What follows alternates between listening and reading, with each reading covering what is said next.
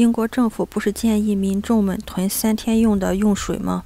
我今天就来到了 Costco，买了一大些喝的。因为他这边的饮料基本上比超市买的都要多，批发站性质的，而且有的时候价格也会比较优惠一些。这个你要看，像我今天买的这个，阿兹达也有卖的，三个是卖二十四磅。这边这个是一个 liter，这么一个饮料，税后是十二英镑，差不多一英镑一盒。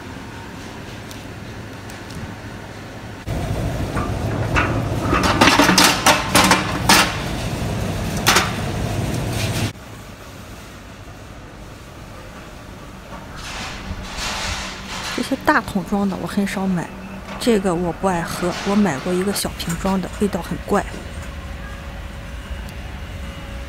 我还买了一些罐头食品、午餐肉。这个是大盒装的，普通超市差不多是三英镑一盒，这个稍微便宜一些。但问题就是你一买就得买六盒，买一盒是不可能的，它的量特别大。但是这午餐肉呢，本来就是囤货，它也坏不掉，一两年没问题。就买了这些东西，再过去看看还有什么吧。一盒蜂蜜，我是经常买。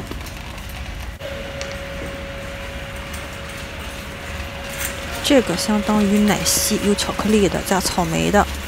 尽管有的网友和我说，你最好囤三十天的用水，我觉得没有那个必要。反正政府说囤上三天，我囤上三天的就够了。